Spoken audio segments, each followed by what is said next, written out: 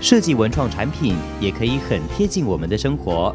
华人最大的经典设计奖得奖出炉，众多入围得奖作品在松山文创园区展出。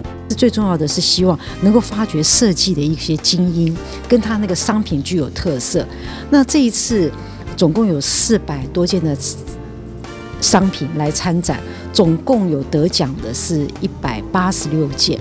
那在 Best 这一区呢，都是二十一件是最 Top 的、最经典的。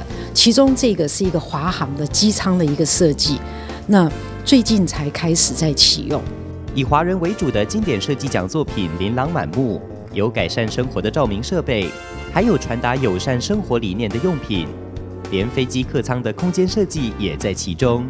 在人事物上面一定要追求完美。如果让它有一点点小小的瑕疵，这个瑕疵是不影响到它的品质，不影响到它的外观，不影响到它的功能，是不是让人也可以接受？中国的茶叶用不同的颜色，六个颜色，比如说像红茶、绿茶、黑茶、黄茶、红茶，像这些的，然后他把那个盒子的设计呢，跟古典的那个人物。结合，它还有上面写了它的那个背景的文字，再加上它跟奥运那个五个颜色的区块，整个都去做一个结合，我觉得这个是很有创意的设计。不只是丰富生活的美学，更是解决生活问题的方案。参观一趟经典设计展，就如同经过一场创意与设计时尚的洗礼。展期到明年一月，有空的话不妨到此走走。